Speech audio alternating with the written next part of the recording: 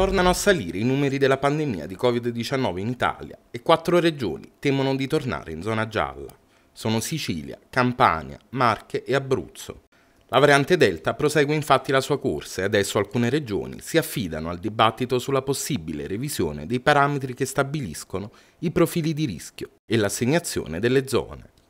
Il timore è il ritorno alla zona gialla in piena estate, le ipotesi vanno dalla soglia minima di tamponi da effettuare ogni 100.000 abitanti, che alcuni esperti vorrebbero aumentare, al maggior peso del cosiddetto RT ospedaliero, vale a dire il tasso di occupazione dei posti letto rispetto a quello sull'incidenza. Tra le questioni poste, infatti, c'è quella di rendere più determinante nell'ambito del monitoraggio settimanale la valutazione dei rischi sulla pressione ospedaliera rispetto all'incidenza dei contagi, proprio in vista dell'alleggerimento delle strutture sanitarie dovute al calo dei casi gravi con l'avanzare delle vaccinazioni. Il ministro della Salute Roberto Speranza chiarisce comunque che una risalita dei contagi era prevista ed è in corso, ma con numeri più bassi del passato. Tuttavia non esclude, se necessario, il ritorno delle mascherine all'aperto. Come abbiamo sempre fatto, ci affideremo alla nostra squadra di tecnici che continueranno a fare questo lavoro di verifica. Vediamo passo dopo passo come le cose vanno avanti, spiega Speranza, sottolineando ancora che la vera arma per chiudere questa stagione è la campagna di vaccinazione su cui bisogna insistere.